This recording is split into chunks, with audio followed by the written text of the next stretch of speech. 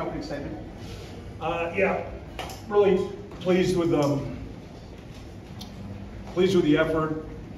Hated losing, hated losing 48 to three. Grateful to Coach Smart. We had a conversation uh, midway through the third quarter through some people about um, just taking care of the kids, keeping them healthy. So grateful to Coach Smart for that, how he handled it, how he handled it. Most important thing for both teams when, when the score gets to that point is um, the health of both teams and wanting Georgia to be healthy so they can make a run at the national championship and wanting us to be healthy so um, we can make a run in our conference at FCS. Questions? I gotta ask, why go for the field goal at the end? Um, wanted to get points on the board, wanted to get something positive um, out of the game, wanted to execute that. We're going to need that at some point to win a football game. So, um, as bad as it probably looked to everybody else, it's important for Tennessee Tech to uh, score some points there.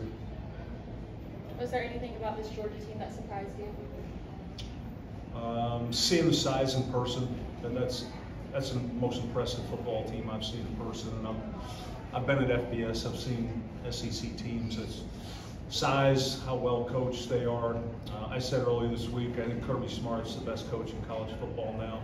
Uh, I think he's with Nick Saban retiring. I think he's the voice of college football. He's the one that coaches need to look at to emulate. You watch how he runs his program, you watch their sideline, how professional everything is from the way he is, the assistant coaches, the managers, trainers, equipment, everybody. It's just very detailed, and that's that's the type of program we're trying to build at Tennessee Tech in terms of our level of, of professionalism and, and efficiency. So very much wish Georgia well. I want those guys to do well this year. Talk about the fight the guys had today against the number one team in the country. Yeah, that was, uh, you know, it was like the bully on the schoolyard going against the uh, the little kid, you know, and the little kid is uh, really just just trying to get out of there and go home at some point. That's that's uh, just an incredible mismatch in terms of size, in terms of the caliber of what they have, and then you look at our players, and we had some incredible moments today. We had a we had a 13 play drive on offense. I'm pretty sure Clemson didn't have a 13 play drive last year. We had one drive on defense that just impressed the heck out of me, where they they went 14 plays, 71 yards, and they had to kick a field goal. So you see the you see the fight, you see the, the caliber of toughness uh, that our kids display against what, what looks to me like a, a borderline NFL team with, with the way that the separation now between the P4 FCS group of five, it, it's just insurmountable. Um, I'm watching Indiana beat Western Illinois 77 to 3 last night. I'm watching Ole Miss beat Furman 76 to nothing last week. So relatively losing 48 to 3, it doesn't look as bad, but the gap now with the collective is just it's so so far that from what I saw 31 years ago when I got into coaching. Um, hopefully we can get this thing fixed here in the next couple of years. I think looking at your roster, one thing that sticks out is amount, the amount of players from the state of Georgia. When you look at the players that you have that are from the state, Hmm. what do you get out of those guys? Yeah, I'm impressed with Georgia football.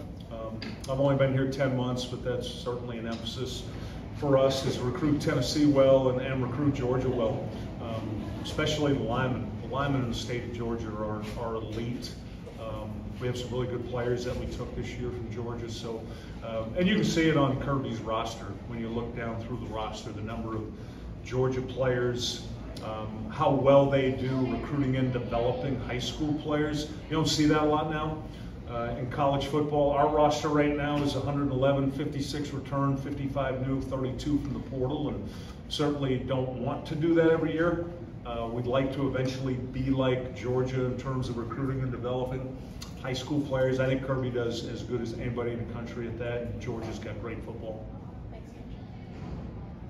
The open week comes at a great time for you. Get kind of get a chance to get guys re- refreshed and re- ready to go for how that conference play opens in two weeks. Yeah, very, very excited to have a bye. These guys deserve it. We've been going now for 42 straight days, and we'll take some days off, and then it's 70 straight days with seven games that um, we'll run towards the end of the season. So we need it. We, we need to buy. We need some rest. We, we need to regroup as much mentally as we do physically. It doesn't matter who we play. We're 0-2 right now, and um, that eats at me. It bothers me. It bothers them. So regroup physically and mentally, and then just get after the next FCS game we play. Any other questions? Thanks. Thank you all, appreciate you. Thanks, Coach. Have a good year. Take good care of Coach Smart.